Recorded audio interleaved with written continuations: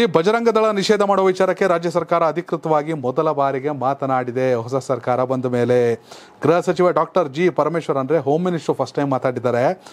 Doctor Parameshwar ಮಾತನಾಡಿ, ತಮ್ಮ, ನಮ್ಮ ಪ್ರಣಾಳಿಕೆಯನ್ನು ಸರಿಯಾಗಿ ಓದಿ, ಸರಿಯಾಗಿ ನೋಡಿ, ಯಾರು ಸಮಾಜದ ಶಾಂತಿಯನ್ನು ಕದಡ್ತಾರೋ ಅವರ ಮೇಲೆ ಕ್ರಮ ಕೈಗೊಳ್ತೀವಿ ಅಂತ ಹೇಳಿದ್ವಿ.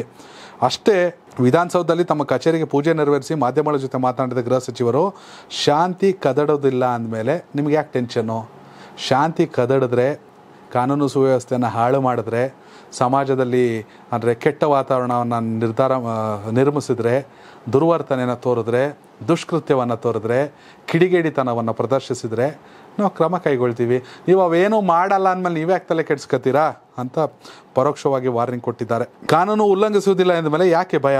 ಅದು ಅವರಿಗೆ ಅರ್ಥ ಆದರೆ ಸಾಕು ಅಂತ ಹೇಳಿದ್ದಾರೆ. ನಾವು ಪ್ರಣಾಳಿಕೆಯಲ್ಲಿ ಬಜರಂಗ ದಳ ಮತ್ತು ಪಿ ಎಫ್ ಐಗೆ ಸಂಬಂಧಿಸಿದಂತೆ ಹೇಳಿದ್ವು.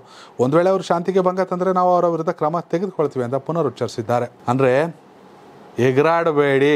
ಎಗರಾಡಿದ್ರೆ ಕ್ರಮ ಕೈಗೊಳ್ತೀವಿ. ಅದನ್ನ ಸ್ಪಷ್ಟವಾಗಿ ಹೇಳಿದೀವಿ ಅಂತ ಹೇಳಿದ್ದಾರೆ. ಏನೋ ಕಾಂಗ್ರೆಸ್